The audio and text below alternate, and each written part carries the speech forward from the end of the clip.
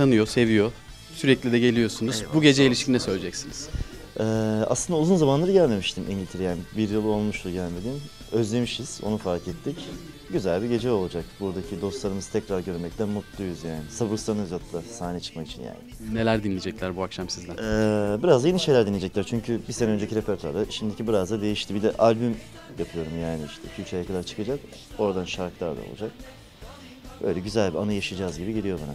Çok teşekkür ederim. Ben teşekkür ederim, sağ olun.